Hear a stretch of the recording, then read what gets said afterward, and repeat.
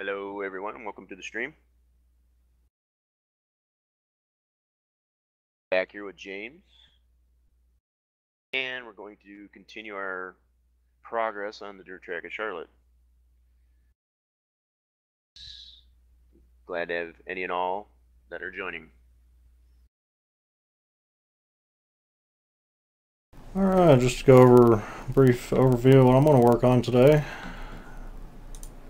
Uh, I'm going to work on these billboards here.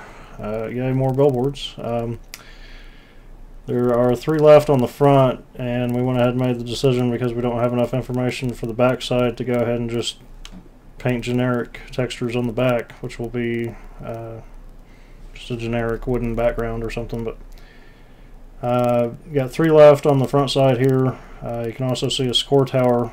Uh, that's just a placeholder at the moment. Got some painting work to do there. I'll fly around here in just a second to show you the work that I've done up to this point. And then I'll get started on the three that need to be completed.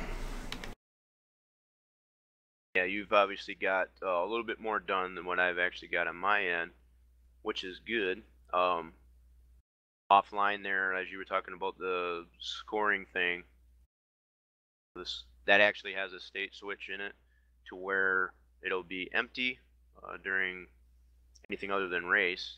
Obviously, this is a placeholder. Um, this is not going to be the finished product, but it gives us an idea of where it's going to be, somewhat how it's going to look, especially with the uh, the digits.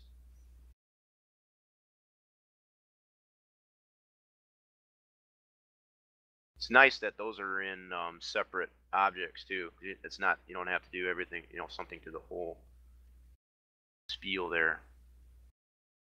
I will probably show um, applying that script uh, to get that to function in the appropriate manner um, in this stream. Um, as for right now, as I was telling James offline here, I'm going to fix this texture, I guess, that I did for the infield.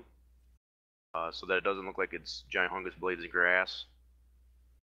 Um, I've got that open right now, so we'll work on that.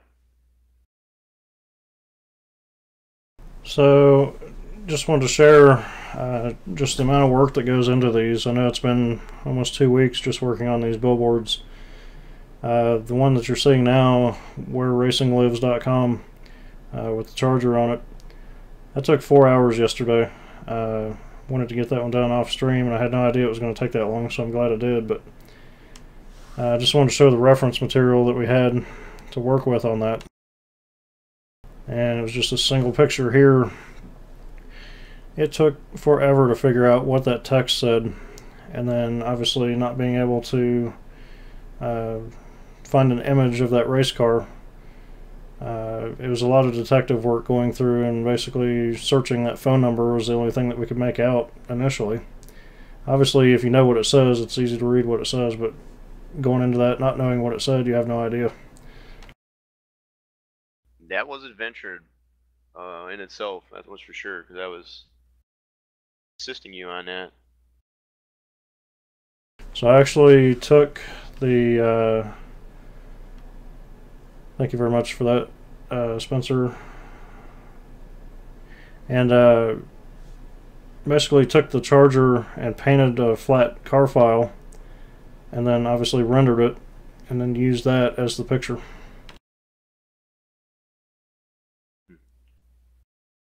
An error on my channels. I'm just checking this out real quick, James.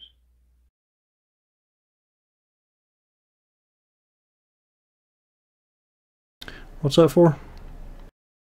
I know, something about a live version. Just making sure that's.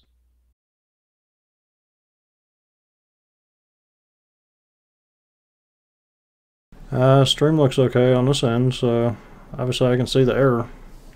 You can see the error? Yes. Yeah, that's what I'm trying to get that removed. I'm not sure.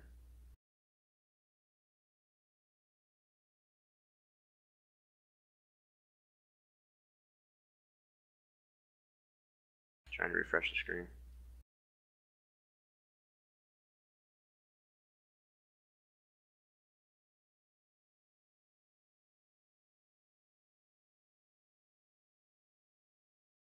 Sorry there folks, a little technical difficulty here, just making sure for uh, Anybody seeing a error on my stream trying to deal with that right now? I don't know why it's doing that.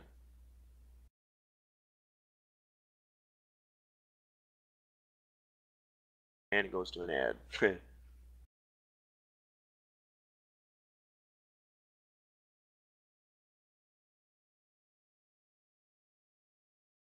Your stream's coming through fine, James.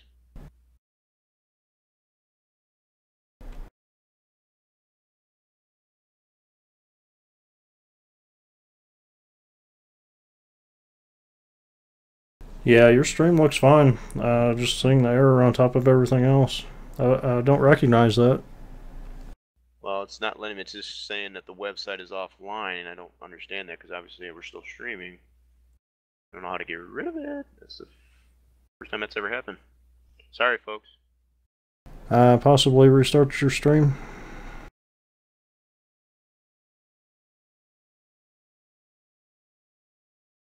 Yeah, I'm gonna have to do that.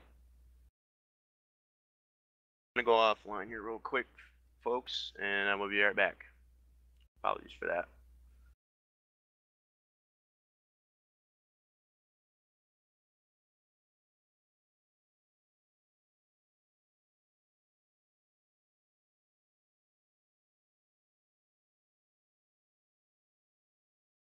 So I'm going to work on the Welcome to Dirt Track at Charlotte billboard, which is the one above the Circle K billboard.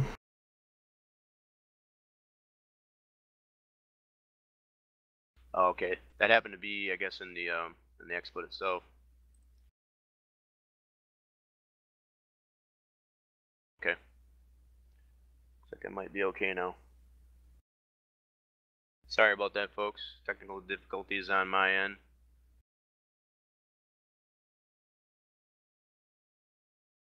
Yeah, looks like it went away now. Not really sure why they came up. I'll have to check that out. It was obviously an exploit deal there. Okay, going back to what I was originally trying to do. Working on this infield. Uh, basically all I'm doing is uh, before when I laid this grass texture down um, I didn't rescale it. I just kept the texture the same as it was as it is applied in the track mat um, to the rest of the track. So what I've done is I've scaled it down so that it looks more uniform with the rest of the grass that's around the track in this 3DO object texture. I'm going to do that.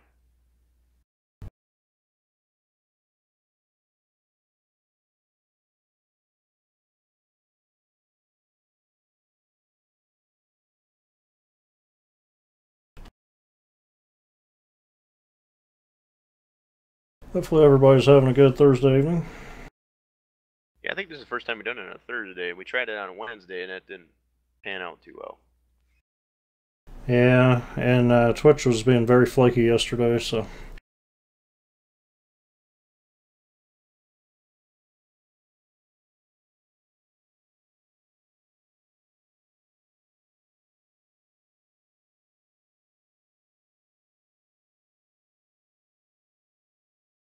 Yes, it was. I know you showed me a couple different times too. I remember watching some different streams offline. I've got these other pieces uh, just to give those an indication of what I'm trying to do here. This is the original uh, texture that I made. Um, I didn't save it as a layered thing like that, but I figured it would be easy enough. All I've done is taken a magic wand Shop Pro and I've separated all these different pieces. So here's the um, transparent area and this one. This is the pathways, all the paved areas, um, and another. And then I got the, what I'm going to do is relay this grass down on the original texture and then apply those two other ones basically using the original uh, texture as a template or guide.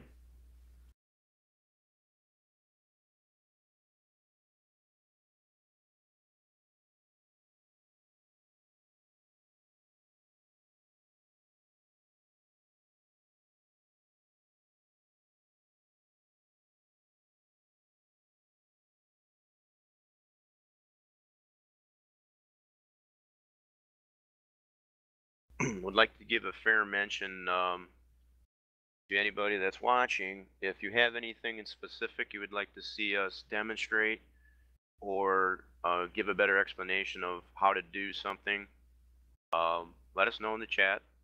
Uh, we are monitoring that as as we go along, and we'll see what we can uh, And that applies to YouTube later as well. If you're viewing this on YouTube later or Twitch archives, uh, leave us a comment and we'll get back to you as quick as possible if we can. Yes, we were trying to do these not only for our own benefit, but for um, viewers out there as well.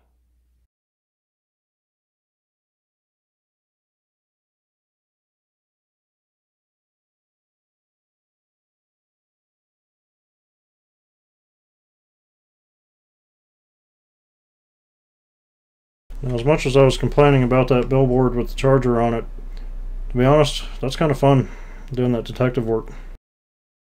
Yeah, it was kind of frustrating there and for a while there, just trying to figure out what the number was, because obviously, uh, what did we say? It was uh, one of the counties in um, in and around the Charlotte area. Yeah, and it kept coming up with the Dale Trail, which is a self-guided tour of uh, Kannapolis area for Dale Earnhardt fans that can go to different areas. And I th- kept thinking, well, why in the world would they have a picture of a charger on a billboard advertising for Dale Earnhardt? But it was just for the county, is what it was for. So. Right, and I think it, as you and I found out, it was like um, kind of almost a chamber of commerce thing as far as like all the things you can do in that county. which is kind of actually neat, you know, because uh, there's a lot of stuff that goes in and yeah, goes on in and around Charlotte, Concord area.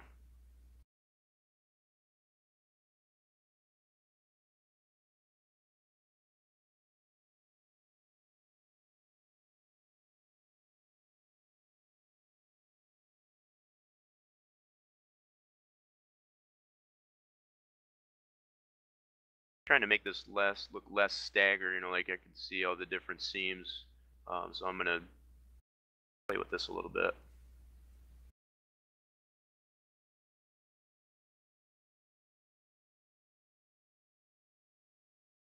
Plus I had a gap, uh, just a little sliver on the very end there, so I need to fill that in.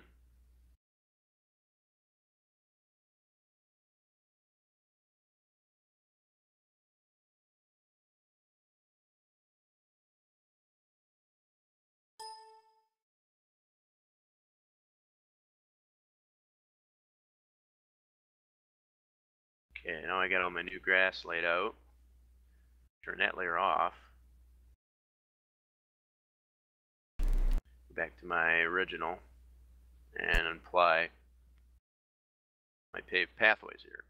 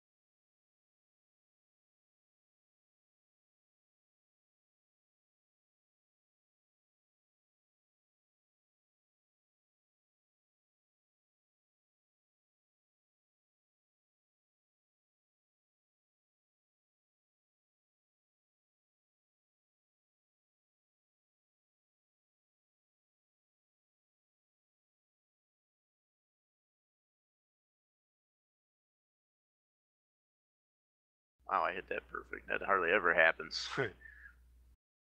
nice.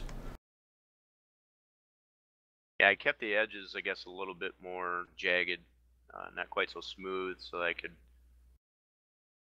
please separate these out just like I have it.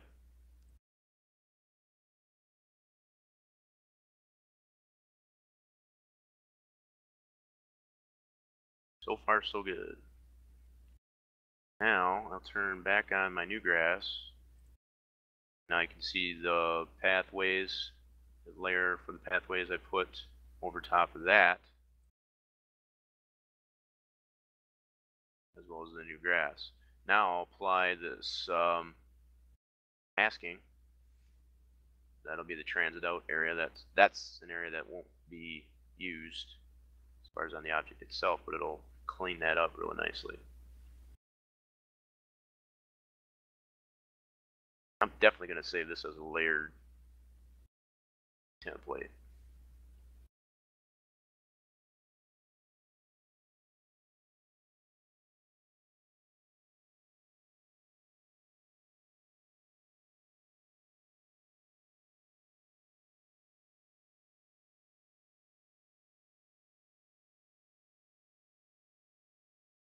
And now I have a revised texture. Can turn off the original. Don't need it.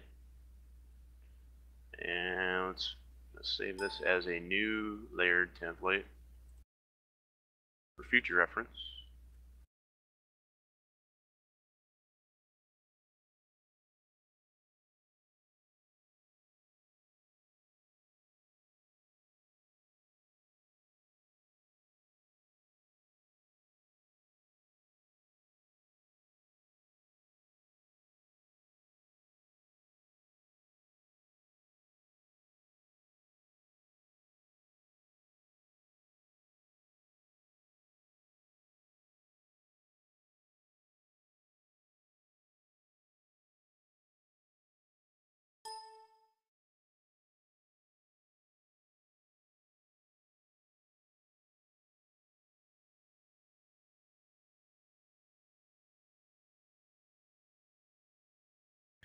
okay, what I'm doing now is saving that another flattened bitmap.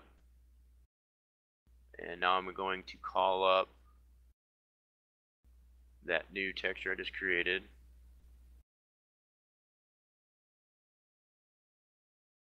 as a bitmap.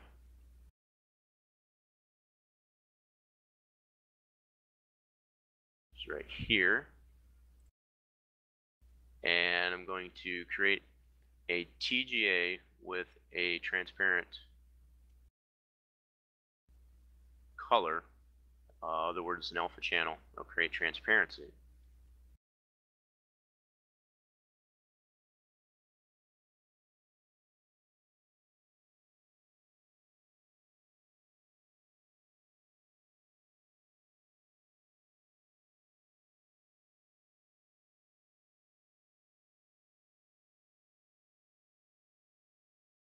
Make sure I save it in the right spot.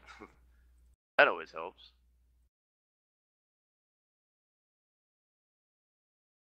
There it is. And I'm going to go ahead and make a MIP texture for that right away. Open that TGA I just created. It's already got the transparent color so I don't need to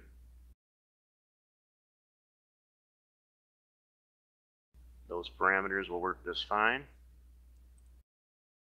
I know you and I talked about that offline too, James, about um, um, using the type 10 map 1 as opposed to map 3 you know, because of the compression and such. Right. I I totally got what you were saying though, as far as uh, why you use the map one as opposed to the three. Um, clarification, I guess, on that. Just doing a little bit more um, work on offline.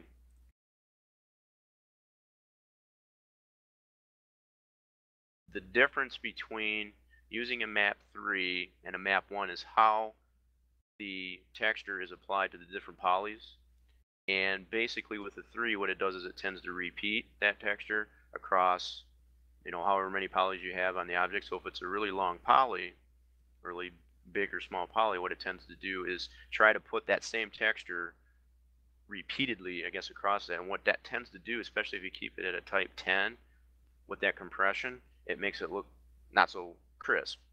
So when you use the one, it's just basically taking the texture one time and say, okay, wherever you place the UVW uh, unwrap modifier on that object, on that model, it only does it one time as opposed to trying getting it in there like multiple times.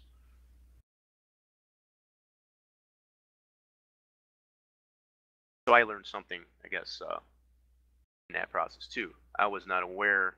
I was always under the assumption that using a map of one was using for something, uh, you know, for an object that you wanted it repeated, like say for grandstands, for instance, using a zero or a one map.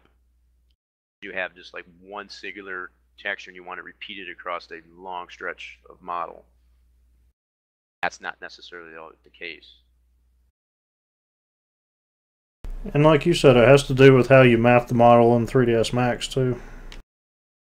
Right. Well, and then I guess that's what led me to believe when I had uh, looked at one uh, billboard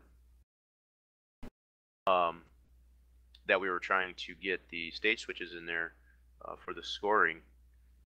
Uh, after looking at the model opening, uh, applying the UVW uh, unwrap modifier to it, and it's like it's done no differently than if you were to put a three and or a one map on the texture. So that's something else we talked offline too, as far as um, um, that's something I will probably show in the stream if we have the time permits uh, to show how to apply two different textures to one model.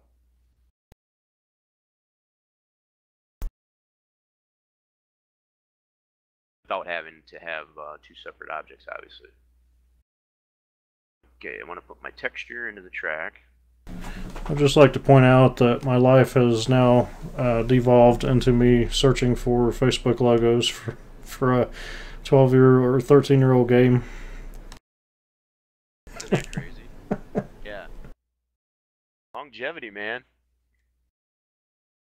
I was talking to the guys at work about doing this, and I was like, I can't remember ever adding social media stuff to any of the tracks that we worked on for SBP together. Um, I think this is the first project that I've ever added a social media to anything. It seems like every single one of these billboards has some kind of link to a social media account. Well, look at the look at the individual uh, drivers' cars anymore across all the different series. I mean, they put their hashtag whatever Twitter, all that good stuff on there. It's just yeah, instead of having having their driver's name, some of them have their Twitter name.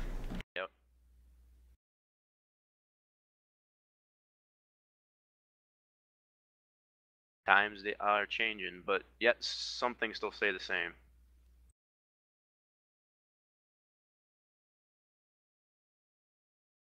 Alright, we're going to take a look and see how this texture, this new texture looks on that object. Going to reopen uh, track here.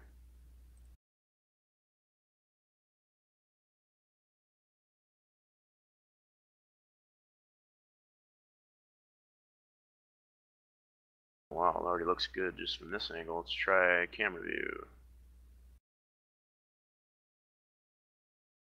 Oh, this is something else that I've worked, done, doing a lot of homework on this track, I guess. Um, this is something else uh, I've been working on offline as far as uh, getting the ground built up, I guess, against the wall. Uh, that's what I've done here. You can see all this is the front stretch uh, next to the main grand. And it has a little ramp access here, I guess, for them to leave the pit in, the pit area. This eventually is going to all get paved. Um, that's not supposed to be dirt and or grass because uh, the, the cars that race on the track, they get to go all the way around uh, those billboards and uh, to the backstretch to the entrance of the pits over in turn three. That's something else I've been working on. Let's see how this texture looks though.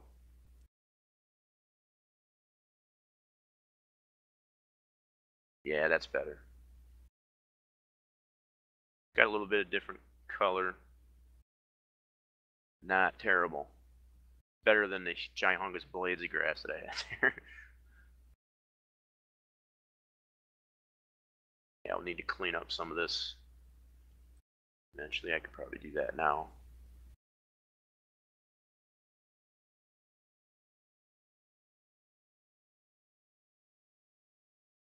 Beautiful. You start getting uh, our objects in the infield here, it'll, that'll look really nice. Uh, we got some uh, light fixtures that put on these motor circles. Uh, these paved areas, there's some uh, lighting there, as well as safety vehicles and whatnot. Oh, that was something else too, James. I, have done a lot of editing, I guess, offline there. I had to redo the cameras, um, the, particularly the pit cameras and the spectator. I was and testing the track or whatever. Those those views that I had in there was just not right. It just didn't give the track any justice. So I did those.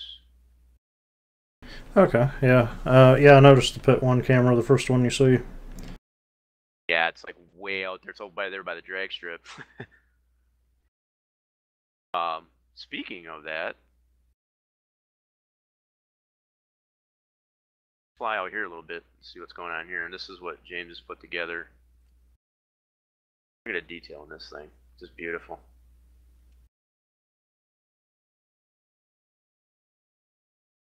Too bad you can't see it all from the track, but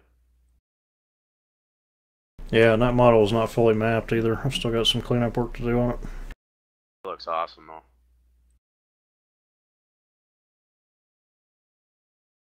Even that uh, grandstands for the full track out there in turns one and two with the restrooms and that. That's we're gonna get that highway in there. I think that's gonna look even better. Get some car cars going up and down the highway type of action.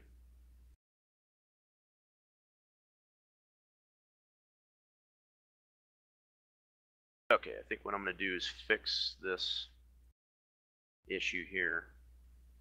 Uh, that transition of the paved areas to the apron.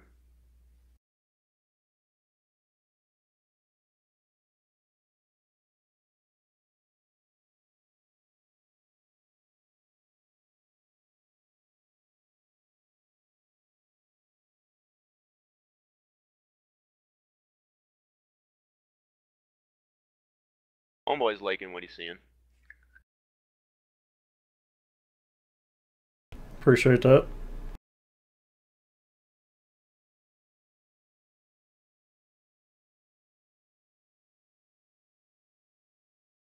Oh, I hadn't noticed. Uh, sorry about that. We got Spencer's here. Uh, just giving a shout out to some of our chatters. Uh, TPR logo. Welcome to the stream.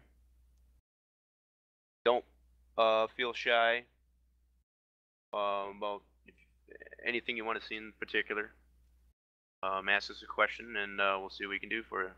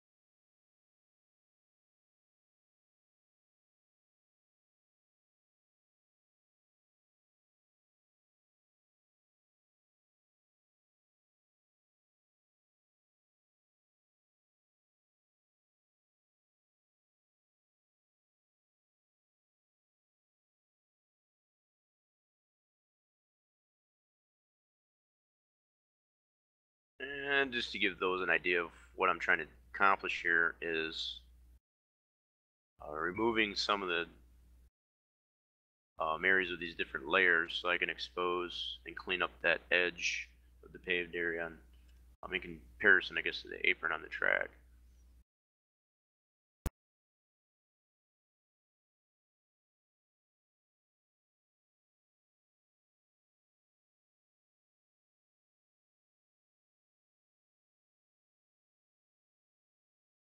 Something that I just learned about uh, Photoshop CS6 the other day is when you're editing a text layer and your bounding box is too small for the text to fit into, if you drag your cursor over to the edge of the resizing boxes and it doesn't show up the drag icon, leave your mouse there for a split second and then it will switch to the drag icon. I didn't know that.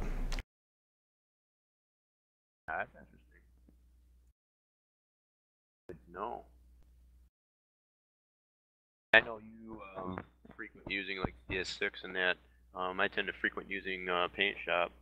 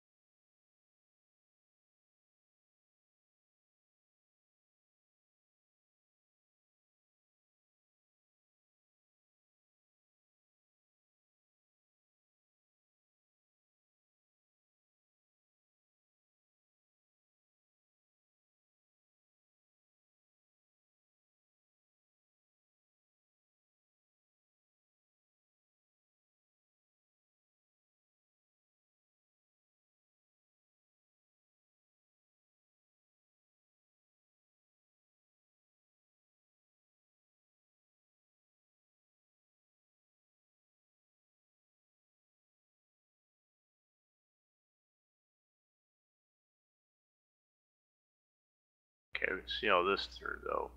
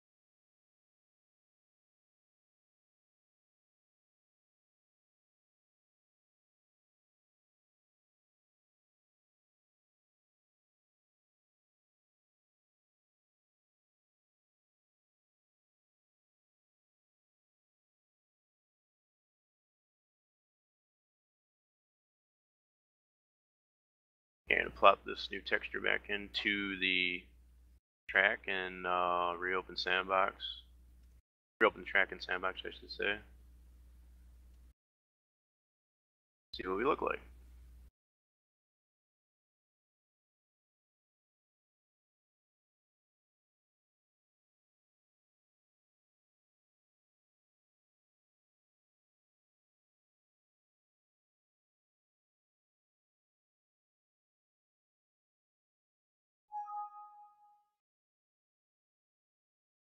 Was wondering why my computer was lagging so much I left Sandbox open. Left it open? Yeah. Oh, as a yeah, because you're working in uh, CS6, obviously. Yeah, see how this has cleaned this up really nice now. As compared to what it was kind of choppy. Nice clean edge on there.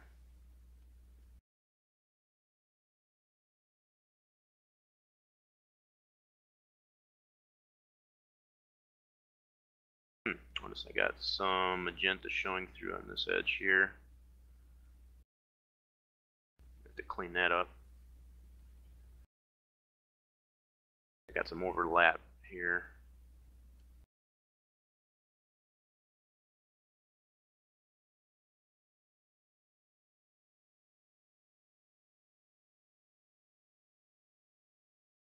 Yeah.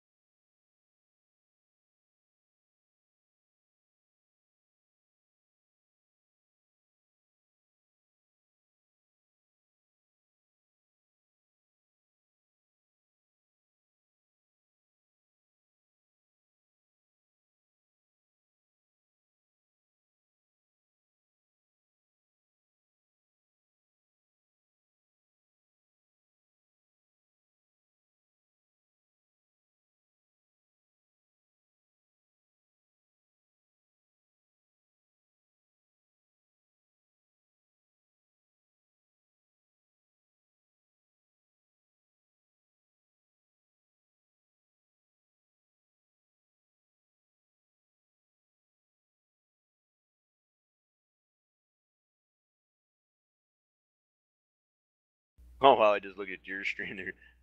Big old Twitter bird. it's funny. It's nice finding those way big textures like that and you can spank them down as opposed to finding a really dinky one. And a PNG at that with transparent background. Oh, you gotta love that.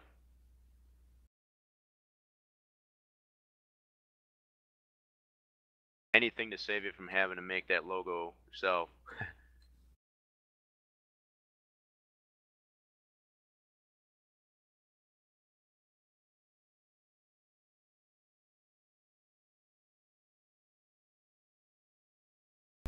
Something weird I noticed with CS6, just kind of a side note here, is it seems like recently the default stroke or outline size has changed from 3 to 4 pixels. I'm not sure why. Really? I know mine. As, as I'm saying that, I see a button that says make default. always, always tries to call you out. See, I think I thought the default on the stroke. That's after you rasterize, correct? Uh, we're still a bit different on that, but yeah, I can I can change whatever I want it to be and then hit make default. So I must have done that by accident at some point. Oh. I always find myself. I probably got that feature too because I got an older version of uh, Photoshop. I say it's four, but it works for what I needed to do.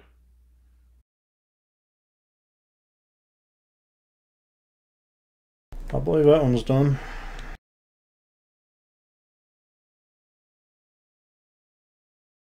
Two more to go to do. Yep, they look fairly easy.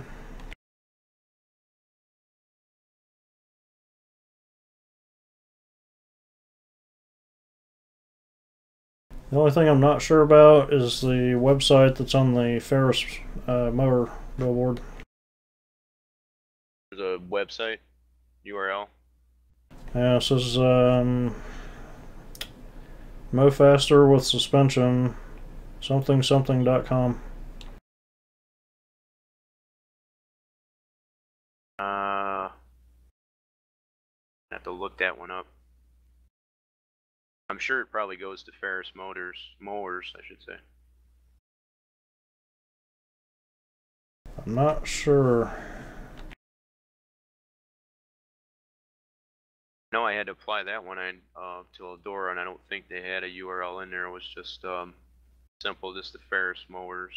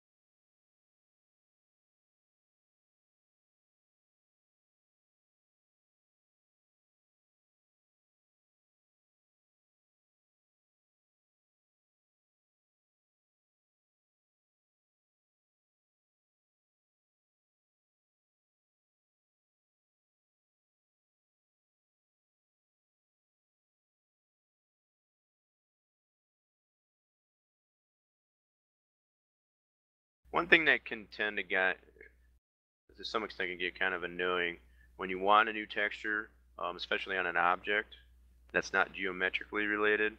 Um, find it necessary to have to close the track and reopen it in order to refresh. Get so used to it though; it's just second nature. But uh, it can get annoying when you have to do it several times. Mm-hmm. See, like on, I've gotten so used to like if I keep the track open and I'm adjusting a texture that's geometrically related, like a wall. Um, I use the reload MIPS option, sandboxing the uh, properties for the texture.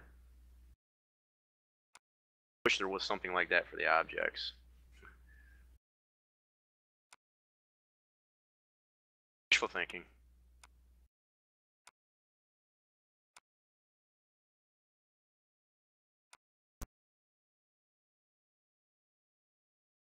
So clean this edge up here a little bit. That's a little better. Probably go a little more, but I'll leave that alone for now. Satisfied with that for the moment. That looks so much better with that in there. Looking at the top view of that.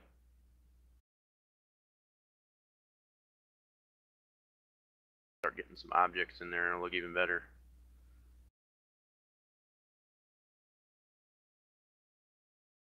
Okay, I want to close.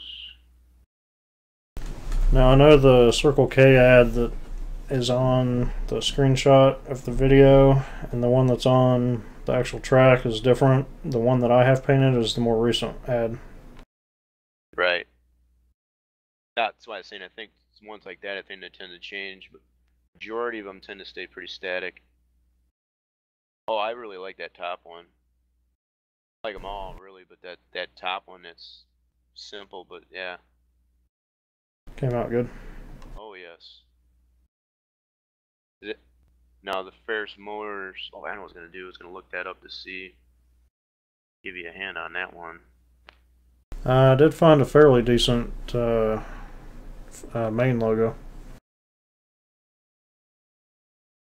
For which one? Ferris. What? You got the one that I sent you, correct? Yeah, but I found another one that's slightly bigger. Oh. Better yet. Yeah, like I said, I think the one I sent you, I had already scaled it down. Um, it's probably the same big one that the larger one that you found. What I started off with. It's a it's a fairly uh, well-known company. I had never heard of it until we started doing this. yeah. Well, you and me both. Um, actually, I came came across it as a well-known company when I um, had done the Eldora build.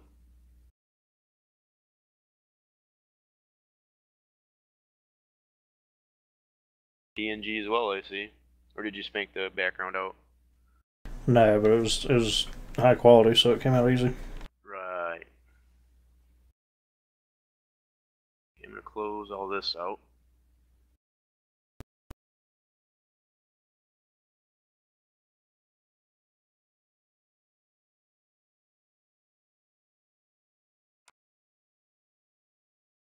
Need to save any of that. Now,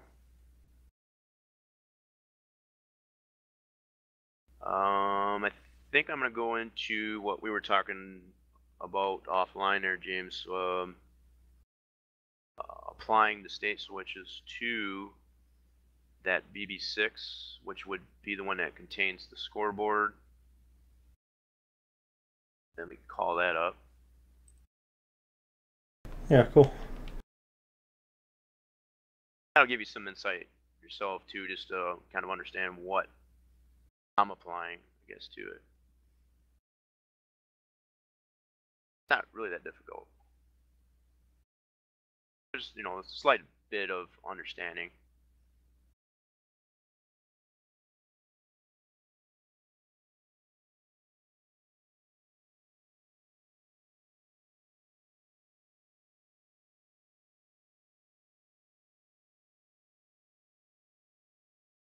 got all the individual billboards here. BB one through nine.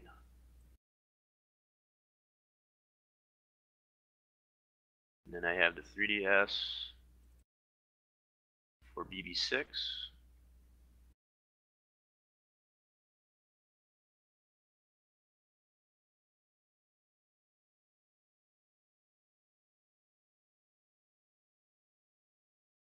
Okay, here's the. Oh yeah, you did finish that Wix one. So that was another um, venture in itself there too with that Wix filter. Yeah, every logo that I could find had the bottom half of the image that's on the billboard cut off, even the one on their website. Right. Remember you saying that. So yeah, that was kind of a task in itself there too. I mean, none of these billboards have really been uh, super simple. I think that's because I jinxed it by that first one with the yellow book or whatever. Had everything pre-made, so I got spoiled.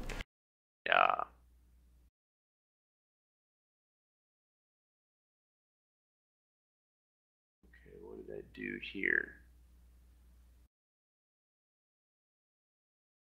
Okay, I remember what I did. What I ended up doing here, obviously the one I got open right now is the active one, so that's during race weekend.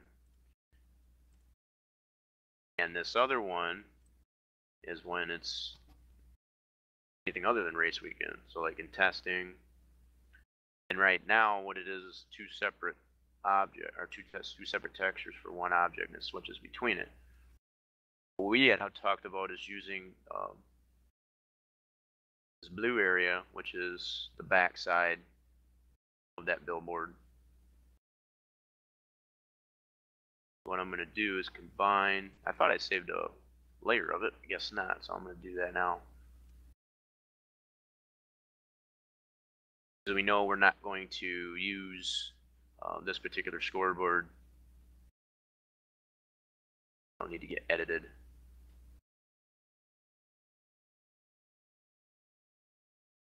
Still got that big, what I do with that, that reminds me, I hope I didn't get rid of it.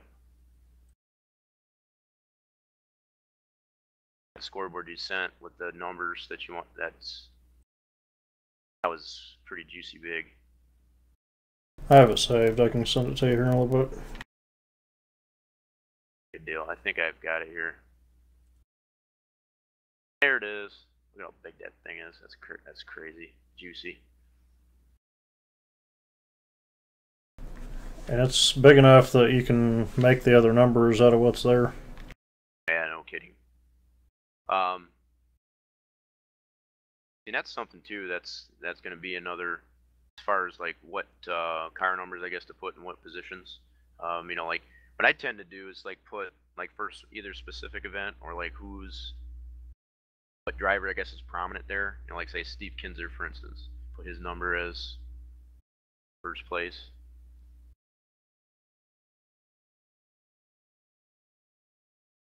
Yeah, I guess that would be kind of an Easter egg. Um, you kind of have some freedom there. Right. Yeah, and that's more or less what I was getting at there. Um, okay, what I'm going to do is I'm going to take this empty one, uh, this empty scoreboard, and I'm going to put it in this blue area, which as I said, would be the normally, uh, initially, and normally would have been reserved for the back side of that top billboard object.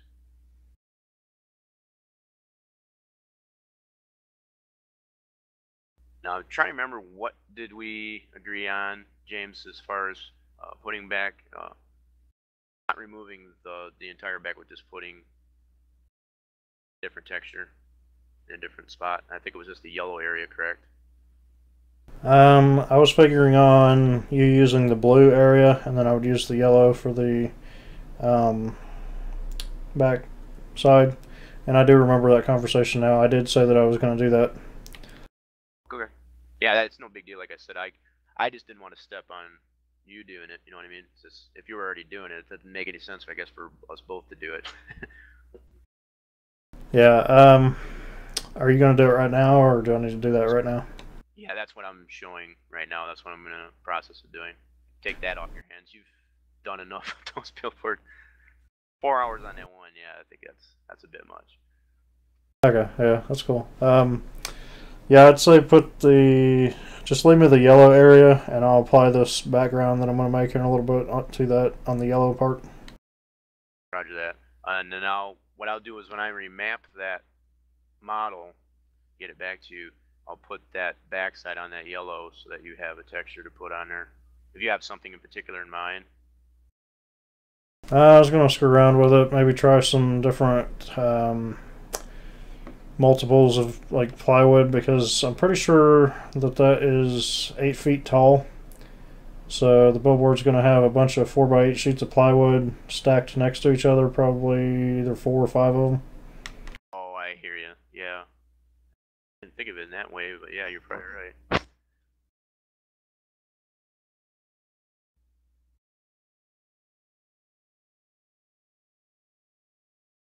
Dang it, I keep dragging far over to the right.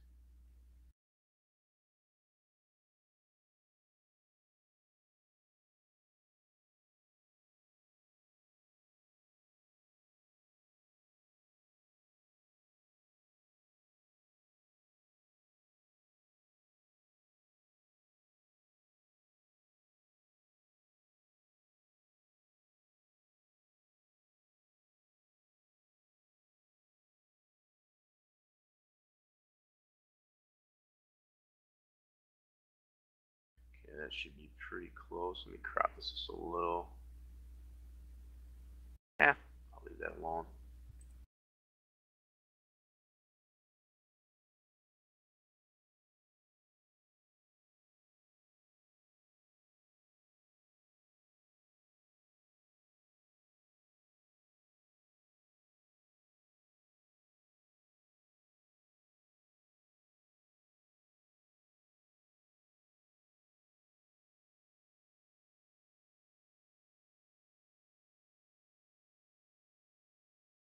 Again, I appreciate everybody hanging out with us here. Yes, absolutely. Um, so far it's seeming to be a pretty good, uh, better turnout than we had last Wednesday.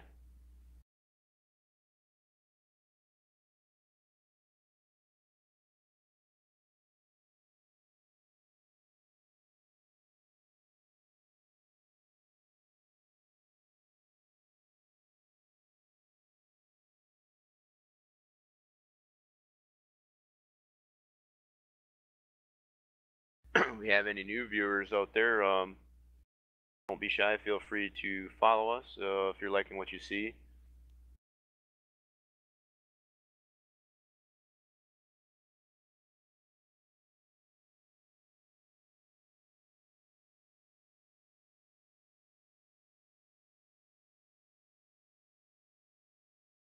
Okay, so basically all I've done here is put, um, zoom out one more time here. Put the the empty scoreboard area in a different area of this one here so that um, when I apply the state switch to the object, it'll call up a different, depending on which uh, session you're in, either race and or testing, um, it'll call up and show either the empty or the um, lit all in one texture.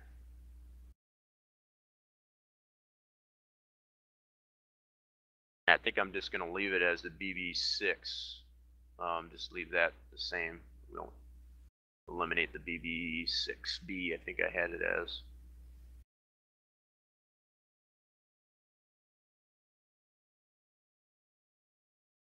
But yeah, all I've done is just put that in a layer. I can turn that on and off. Um, eventually, once we get the numbers, I'll put those in a separate layer later time. So I'll save this as a layered.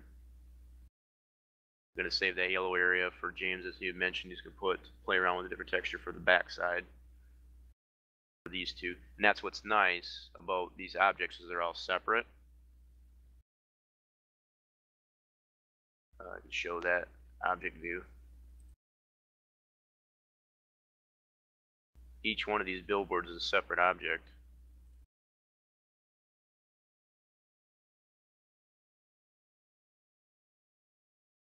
So our BB6 with the uh, scoreboard is maybe the one in the middle. There it is. There's our BB6. Highlighted right now.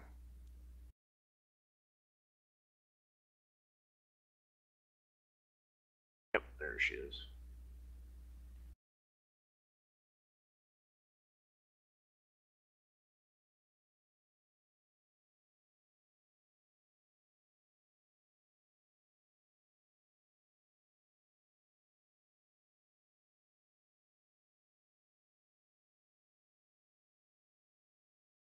Save this as a layered PSD. Uh, I want to rename this though.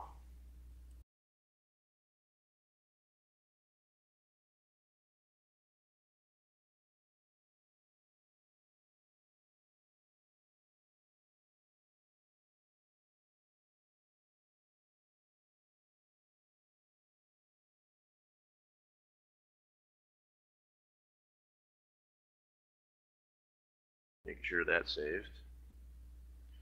Right there. Okay. Um. Yeah. I guess while I'm in here, I'll call up this uh, script.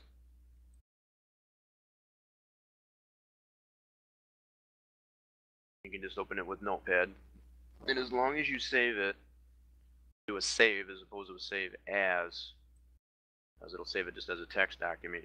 That won't work. Um, you want to keep maintain that PSG extension. Um, but this is the the basic layout, I guess, for that particular billboard. If you can care to see that, basically what it starts out as is making a, an empty mesh, uh, so that um, you want to create a population switch, um, being able to shut it off um, by using the O key in game that ever uh, is necessary. Um, and then the first couple lines here that call up the different pass files. I'll, I'll, end up creating two different pass files. One that's an active board, an active board I should say, that's not lit, and one that is lit. And as these lines carry down, I'm creating a weekend switch here as far as like when those two will show um, creating a weekend switch variable, state switch variable, which is weekend. Uh, for zero is during testing, that'll show just the board, which is the inactive. And in anything other than testing, which would be race weekend, uh, be, be it um, happy hour qualifying, and then the actual race will show the active board where it's lit. Um, that's that line, and then creating the population switch. Um, population. Now these variables, keeping in mind, um, these are just the ones that I use. That's easier for me to understand as far as like what it's doing. Um, as long you could put any type of variable that you want with a colon, as long as your variable, all this stuff in capital. Those are your commands um, as far as like what you want uh, when you call that script up in the Make3DO what are you wanting it to do? Um, in this case here, uh, uh, with the population switch, this is a state switch variable population. Previous one was state switch variable weekend. Um, and in this population switch, what it does is the zero is for when you have no, you don't want it to show at all. That's the first line uh, that creates an empty mesh. Um, and for population switch one, which would be under all, in this case, um, it'll show what's presented in the weekend switch, the line previous. So it'll basically look at what's going on in the weekend switch variable and say, okay, what session are we in? Okay, we're in testing. Okay, I show the inactive, as opposed to um, race weekend. If they're in uh, happy hour qualifying actual race, okay, show that particular model and or texture. And then the last line is your output. What do you want to call this 3DO? I guess what what do you want Make 3DO to spit out as far as its name? That's a general run through for that. That's pretty basic.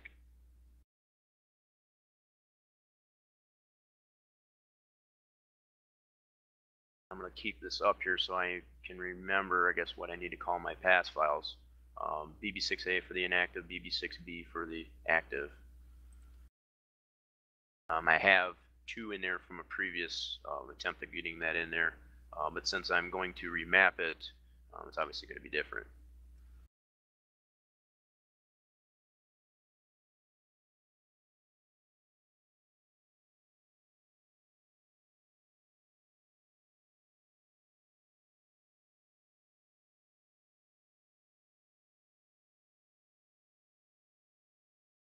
Uh, I suppose what I need to do is make a new texture uh, bitmap.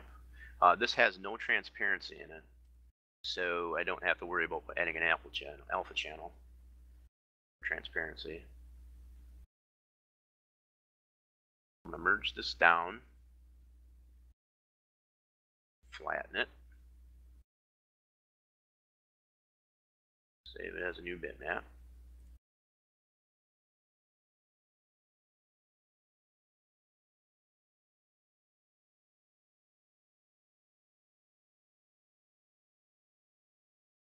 While I'm at it, I'm going to remove this other texture because I don't need that second texture anymore.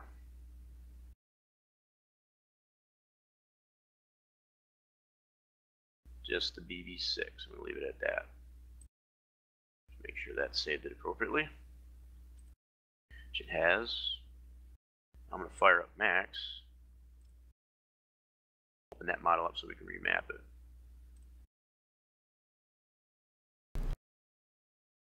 A lot of windows open. Yeah, my desktop resolution's 4320 by 900, and my start bar goes from all the way to the left, almost all the way to the right now.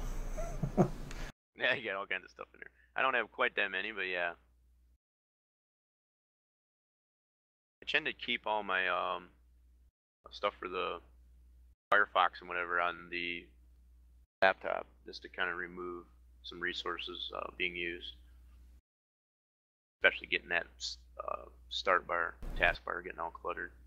Okay, now I'm in Max, and what I'm going to do now is call up that BB6 model 3DS.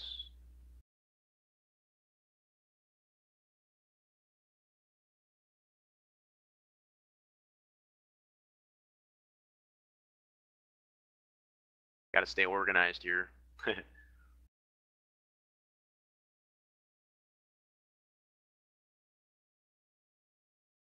and here's our object in Max.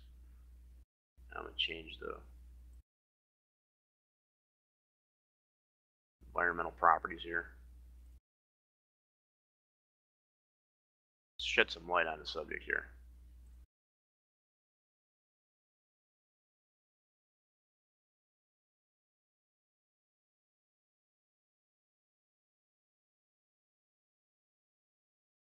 Maybe hard to see the model actually with the the way the grid's colored and all that stuff. But I'll throw a texture on here real quick that I just made.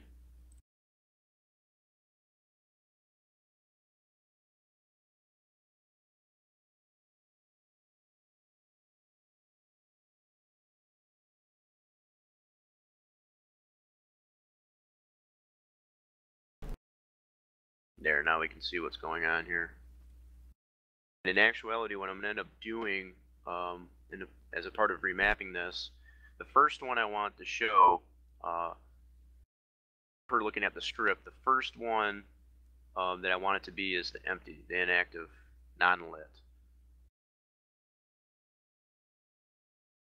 As it sits right now, I can actually make that pass file um, the way it sits right currently, which I'll do that will need to remap it uh, to that texture to that empty scoreboard. Yeah, let's spit this out as a pass.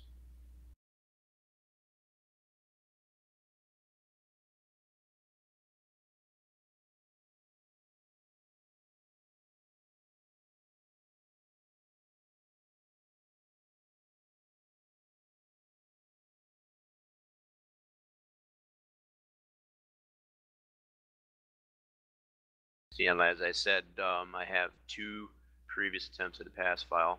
Um, this is obviously the BB6B, so I'll overwrite that. Should still be the same, but I'm going to go ahead and just, just keep them consistent with the save over that. Um, some might tend to wonder, I guess, when looking in this perspective view, uh, Max here, the, the texture looks kind of pixelated. Um, I'm to throw up a render here real quick to show you what it actually will look like. The render tends to make it uh, not so pixelated. This gives you a general idea in the perspective view. This is how it'll look like, nice and crisp.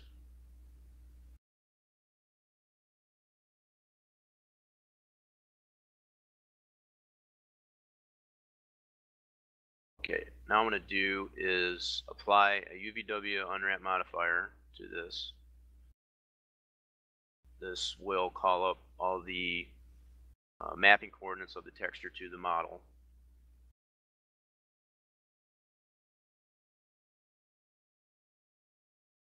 Yeah, that's a jumbled mess in there by looking at it, but I'm going to filter these. Get this what I want, and I'm going to adjust this texture in the UVW window.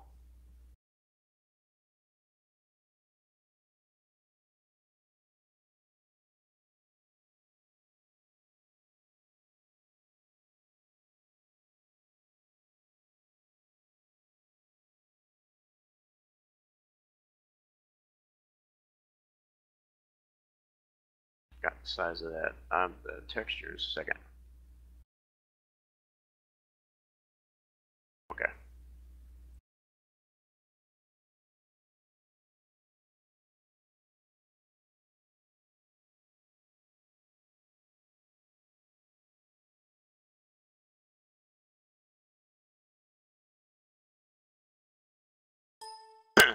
I got the same representation of the texture in the UVW editing window.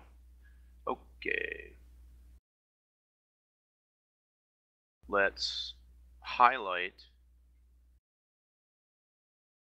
the faces that we want to change.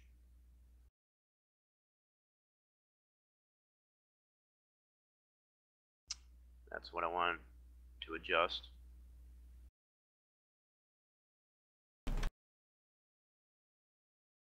And I don't need to do a planar map or anything like that because it's already been mapped. You can see the outline of it right here as, as to what it's showing on the model, and I want to basically move it to this thing and save a new pass file.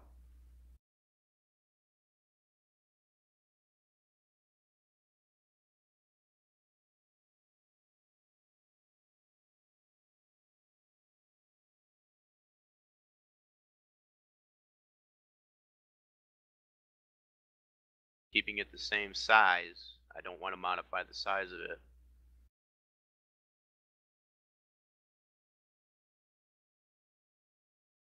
All I want to do is move it. And as you can see in the perspective, it's changing too as far as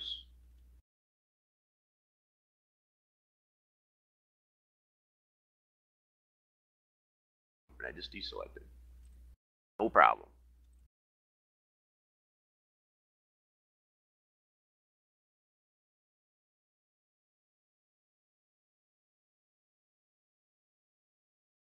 See, the good thing about this one is it's not um, necessarily a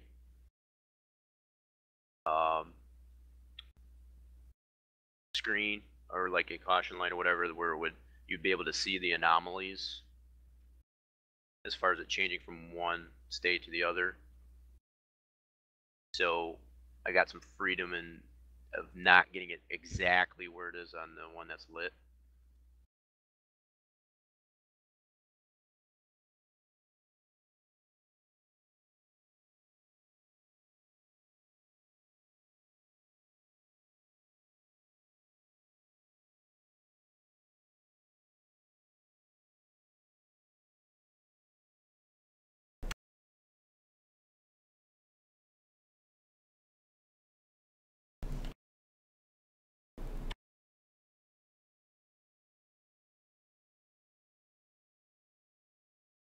Having to modify it just slightly. The actual mapping coordinates of those two, of those uh, selected faces.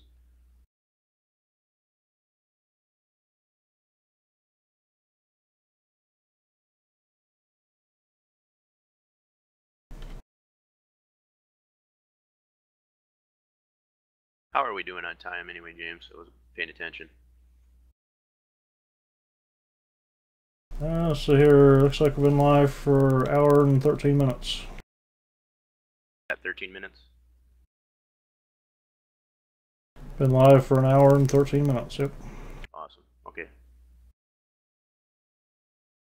Okay, so as I've said, I've moved um, those faces uh, to the different area of the texture, the new texture created.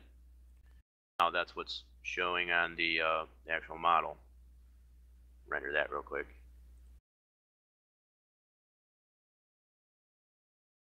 Now we have an, inact an inactive object, and I'm going to save this as a new pass file. Not stepping on the original 3DS at this point.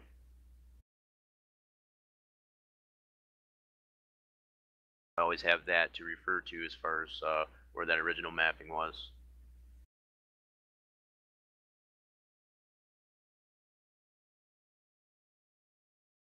Export export this out as a uh, pass BB6 A. Looking at my notes, there it is. Overwrite that.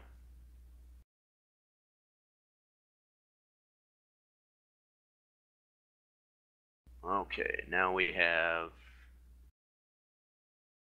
yeah, here's the 3DS. Two pass files I just created.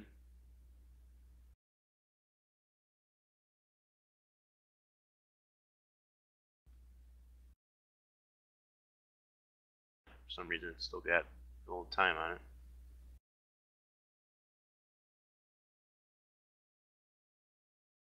Okay. I love Windows sometimes when they show you I'm in the detail view and it's still showing me for the old, the original pass files that I created. Still got yesterday's date on it. Look at the modified date. Oh, yeah. Darn Winders. Microshaft. you know, you like to use that term a lot. I get a kick out of that. So now what I'm going to do is take, uh, I'm going to open up my make 3DO directory.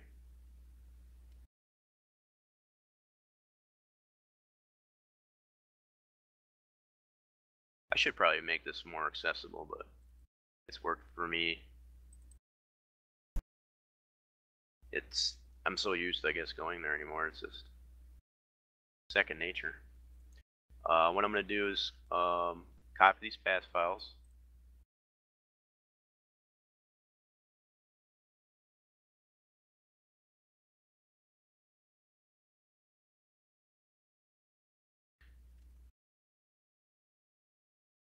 Okay, uh, pass files, the script, which is this, and my texture, BB6, here,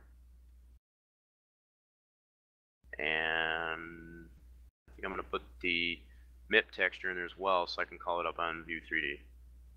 That is a must if you want to use it, uh, if you want the object to show in View 3D.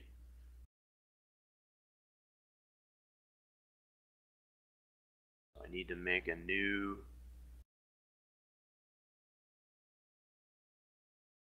okay BB6B I don't need. I'll delete that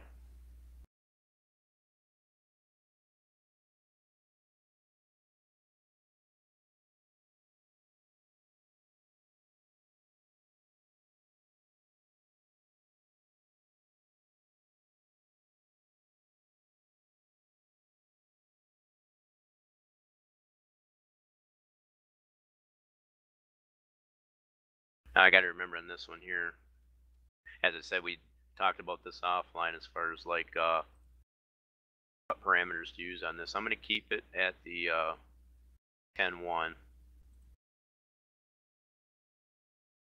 just for humor's sake. Yeah, I'm going to go through after they're all done and change them all to, uh, would you say, 6-3? 6-3. I would keep them, and then obviously um, stepping it down, I guess, on the size. Yeah, it'd, it'd end up being like 16 megabytes if we didn't reduce it. So Right. times nine, that's way too big. Right. I mean, yeah, we want to show off as I guess as much of the time spent, I guess, on those, but not quite that much, right? Yeah, we got to stay a little bit close to uh, 56k friendly. I don't know how many people still use that, but You'd be surprised how many actually probably still do. Yes, I've come across something like that.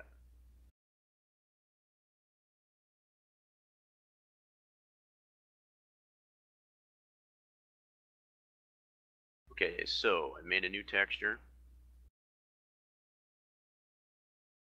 New MIP, I should say.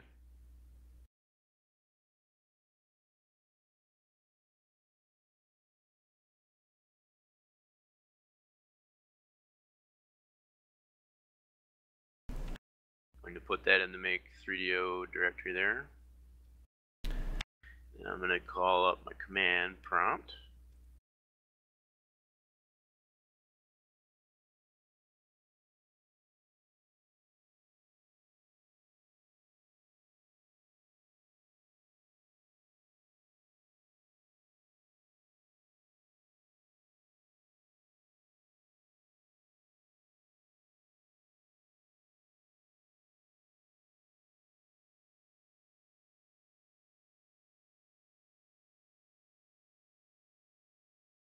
Know I've mentioned this in a previous stream. Um, I'm at the make 3DO directory. Um, the command that I'm putting in is to call up the make 3DO uh, executable. I'm putting in a minus S because I have a script that I want it to read. Now I got to tell it which script to read. In this case, BB6 PSG.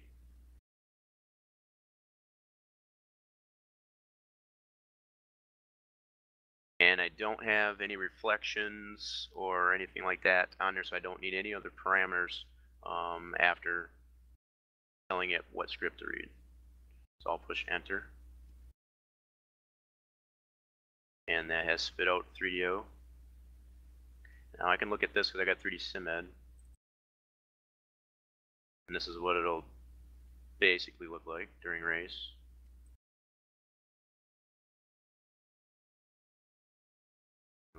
But I'm going to call it up in View 3D to ensure myself of how it's going to present itself in the track.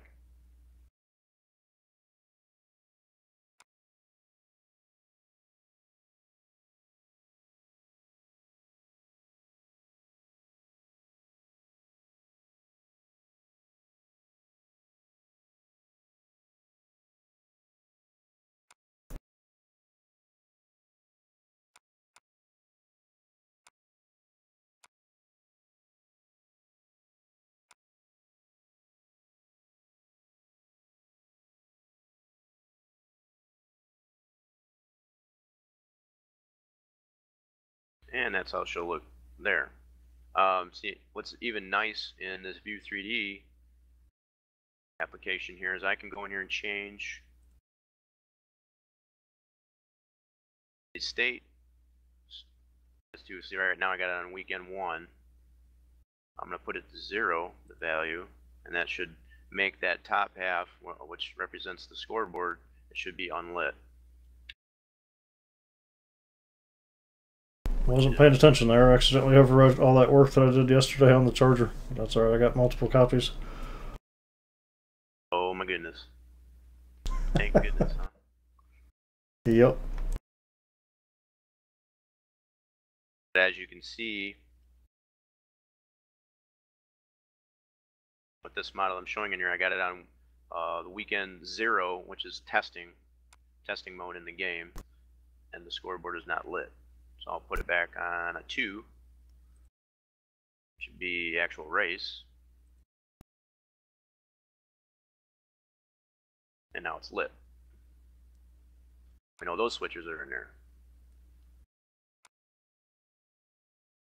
So we'll unload that, close that out. And we'll put this in our track.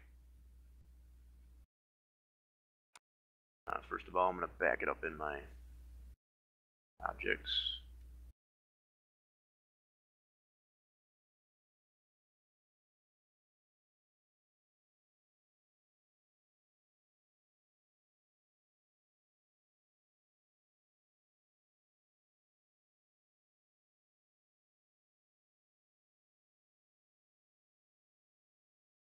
Geez, no one's asking any questions, James. I feel like uh, we're talking to ourselves sometimes.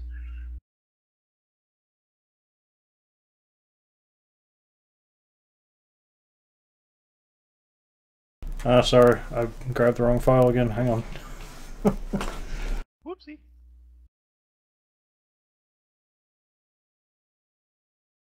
Oh, I see you've got the um. Just looking at your feed again, you got the two duplicated. Is that correct? Yeah. That was intentional.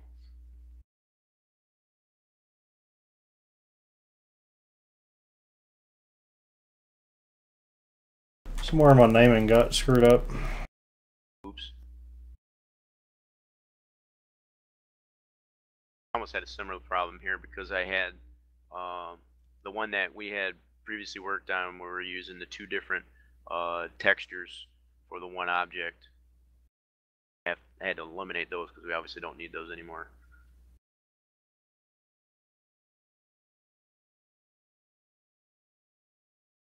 Okay, all I'm doing here is just applying the new texture and object for the BB6 object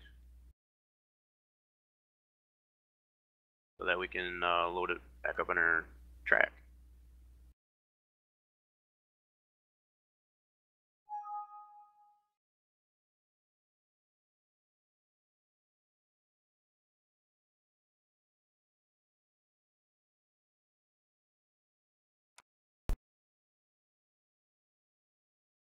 There should be. Now you can do the same thing that I did in the View 3D uh, for the state switches as far as the race weekend and whatnot. Um, I'll also demonstrate the population switch in here, which again you can do that in View 3D as well.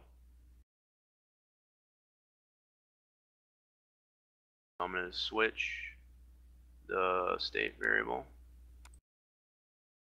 zero.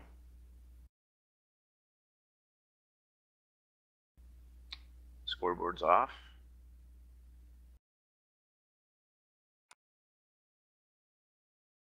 This just giving me, um, you know, just a, just a nice uh,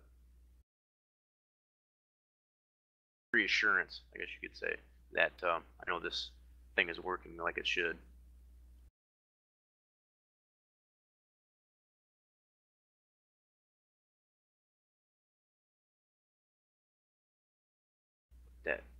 I'll use the population switch.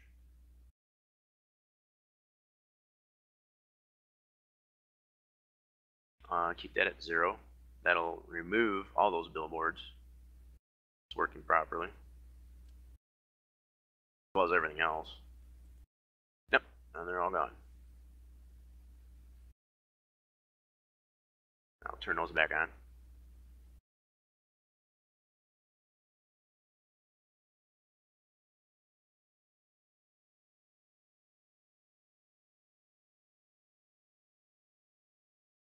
And there they are. so we know that object's working correctly.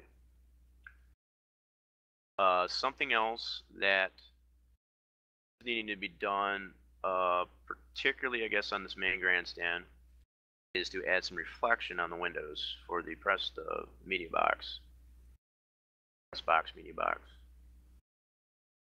Uh, in fact, that might be something I can actually probably show too. I can get that put together. Um, next to, as well, I guess it's, and it'll probably be a separate object as opposed to applying it right to the main grandstand object itself, but um, some 3D people, 3D crowds. Okay, I'm done with this script. Close that out. And I'm through with this model. Close that out.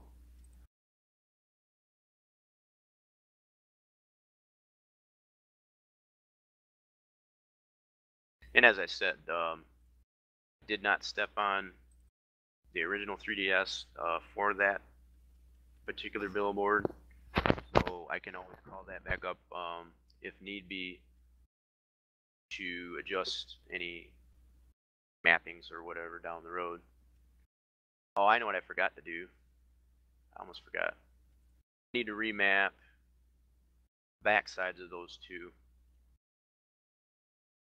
Yeah, let me do that. Almost got ahead of myself. Call that model up again.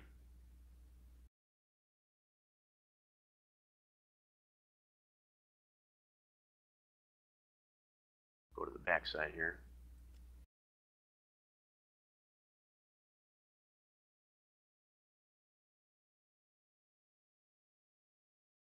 Okay, put that modifier back on there. I'll get my texture on first.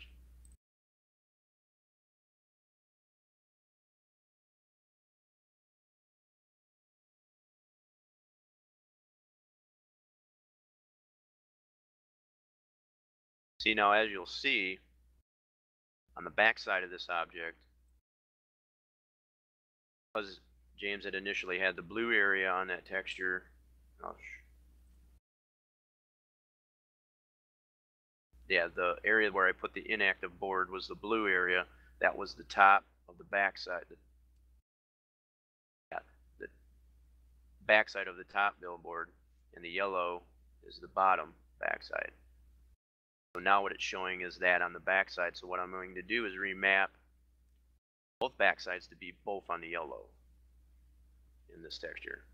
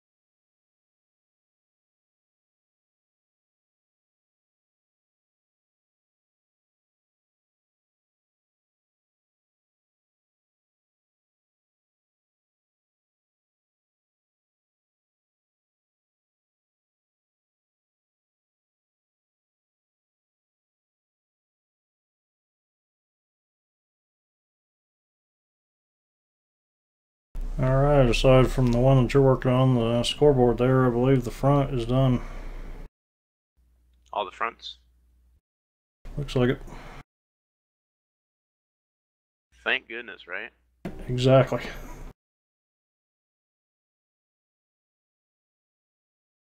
Now luckily I only have to create one background and just apply it to all the other textures.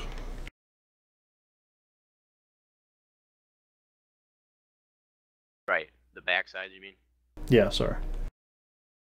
Um, now I know on just this one particular one that I'm doing right now, that one will have that particular mapping. But as far as the other ones, do you want me to do those as well?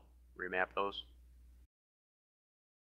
I won't have to, I'll just apply it to the blue and the yellow on the other ones. Roger that. In other words, you just put. Yeah, I got gotcha.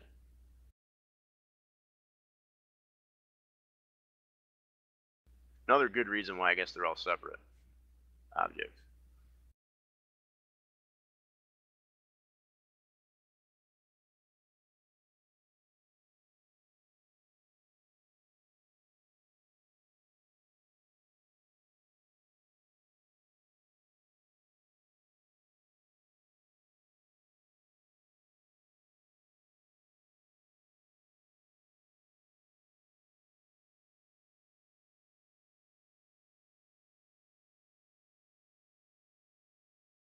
There, now I got them both.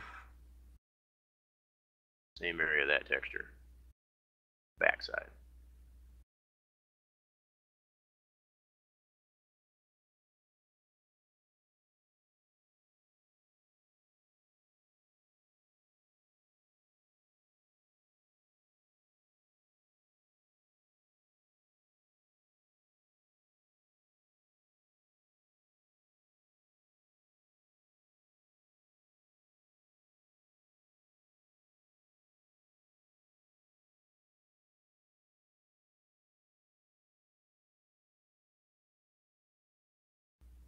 Looks good.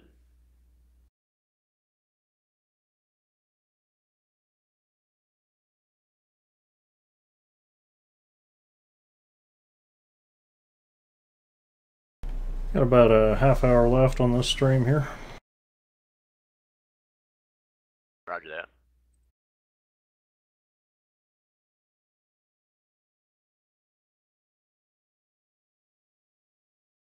Yeah, we'll save this as a separate 3DS. I keep that original.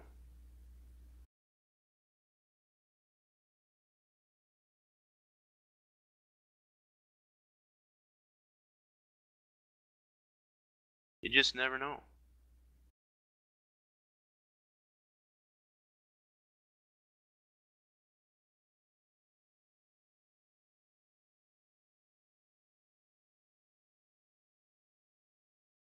So I'll have to make two new pass files. Redo that model. This one's A, or B, I should say. Yeah, this one's the B.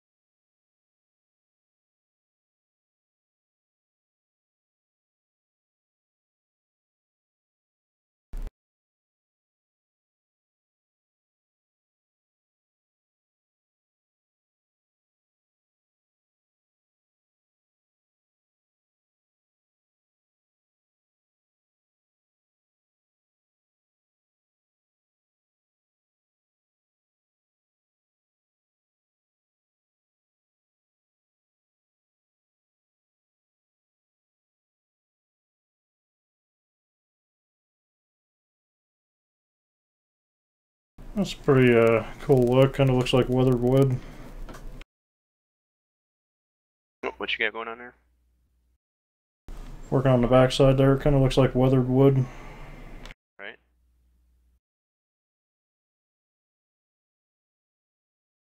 It's kind of cool. I might keep that. Probably more than one application there, yeah.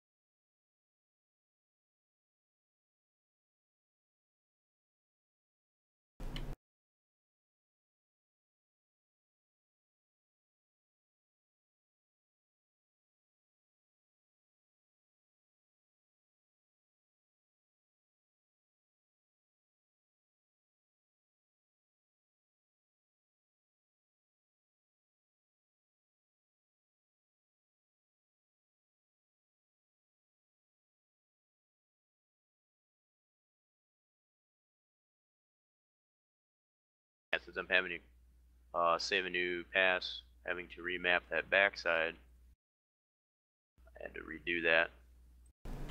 So, okay. One thing that's bad, kind of a downside, I guess, with the pass files. You cannot import the pass file. That's export export purposes only. You can't open it, say, like as a 3DS.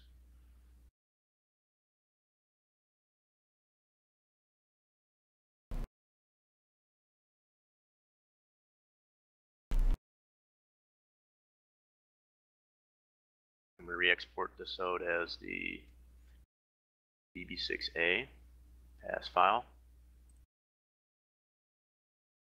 Write that. And put those two new pass files.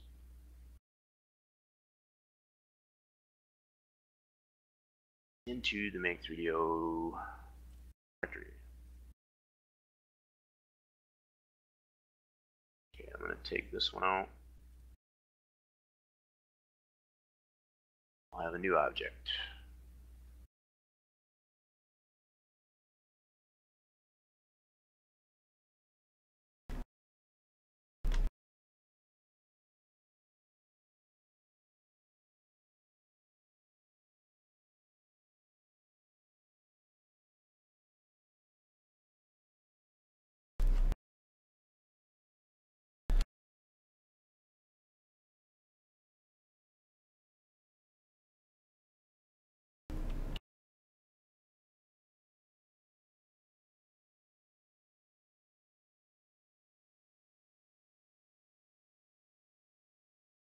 Reload the track, make sure that works.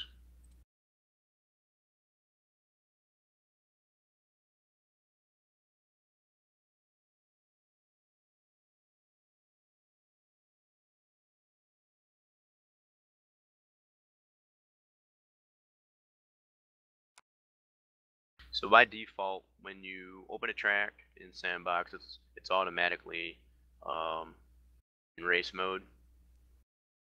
So if you care to want to look at it, I guess in any other session, like be it testing, what have you, you have to tell it that.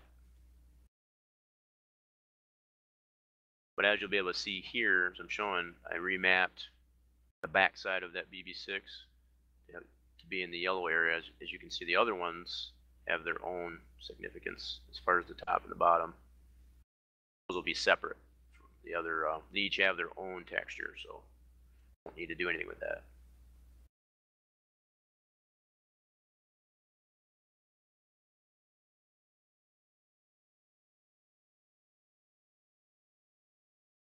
Okay.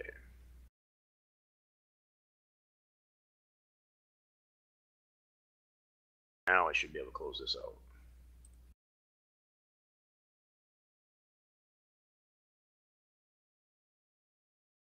Were you gonna give a sneak peek at uh, how it drives and how it looks in game?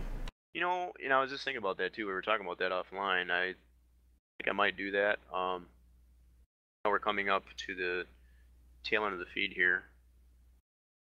I think I might do that. Um, I'm gonna create, pack this up here since I got time.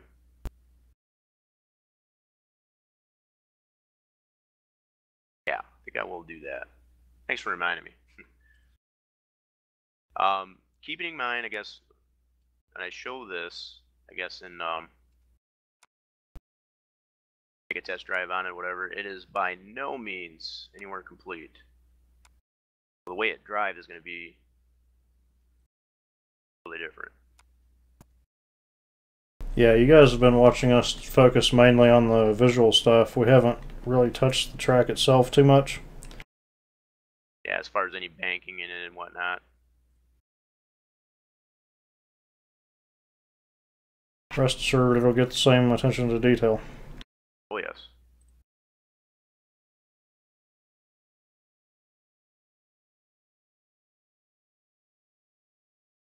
In fact, I can probably give a little bit of um, demonstration here as far as how we pack these things up too. Um, I I know some out there tend to like to use the WinMip WinMip 2 to pack tracks up. Um, I've been more privy, I guess, to use this MakeDat. Uh, put that right into your unpack track folder. Uh, the only critical part is you have to make sure your track folder and your PTF are named the same so that when it spits the DAT file out, it'll load correctly in the game. So that's what I'm going to do now. Um, all my items in here is what I want to be presented in my DAT file for now. It's obviously not going to be finished, as I said. I'm to rename my PTF here. Let me get out of sandbox here. Want to step on that. That texture looks really cool. What's that? That wood. Oh yeah. Yeah, that is neat. It almost kind of looks like cement in a way. Yeah, it does.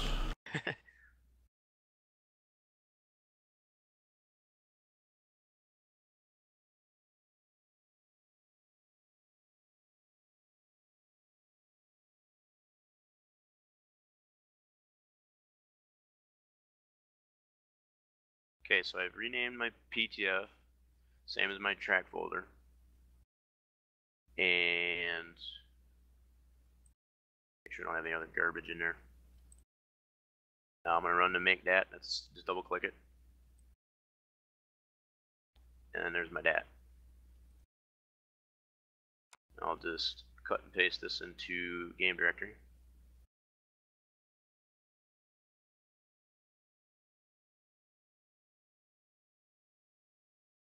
Which I already have track in there.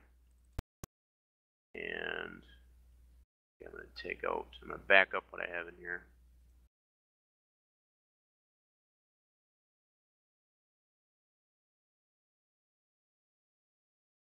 I got a PTF when I was doing all the X eggs, I guess, for the outside of the track there. Testing that out. And since I've already got all these billboards and these other objects that are loose in here in the DAT file, I don't need them in there, so I'm going to take those out.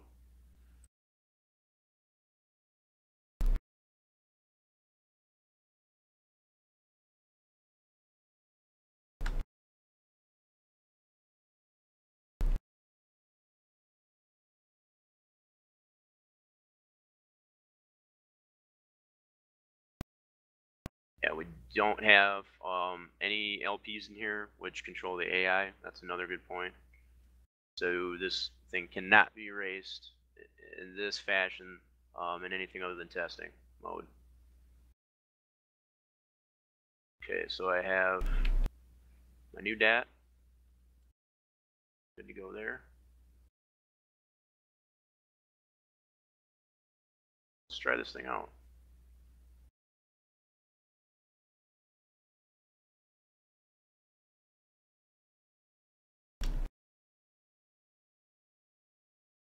We'll take a spin around, a couple spins around uh, GTA Charlotte.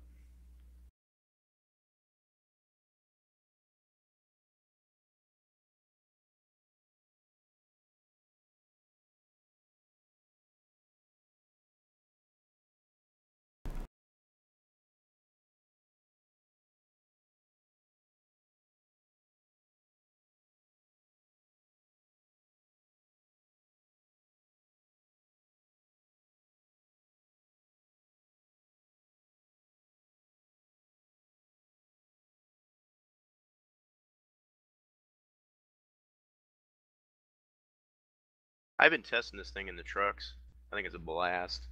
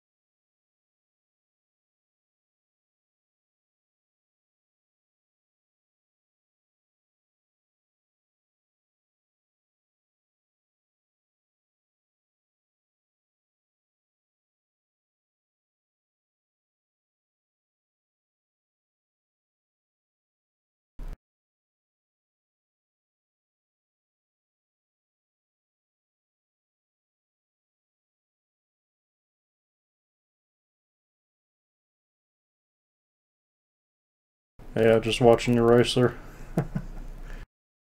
Liking it? Getting that three wheel action, I love it. Yeah. Get my test, my guys some practice here.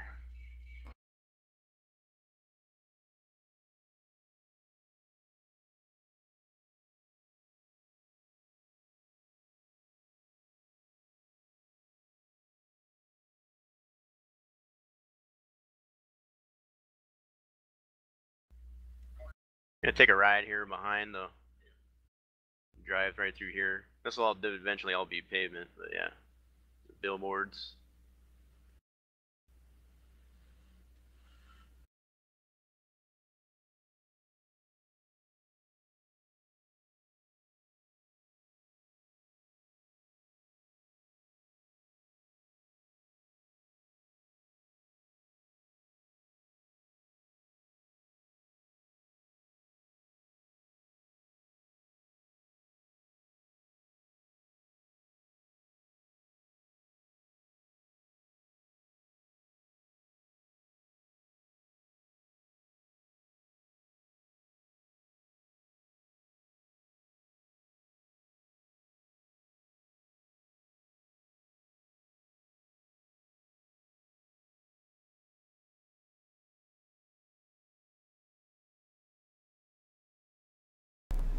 Well, as soon as he's done lapping there, I think we're probably going to go ahead and end the stream.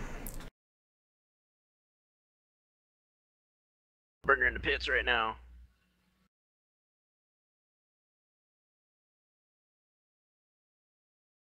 So you tend to gradually climb up here. That was something I needed to test anyway, as far as the um, changing this ramp. Like I made here for pit exit two. Oh yeah. And that is a couple laps at Dirt Track of Charlotte so far.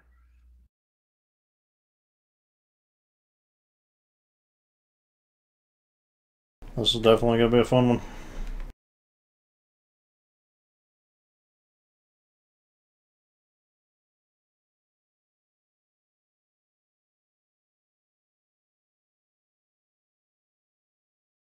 Just a bit of a taste.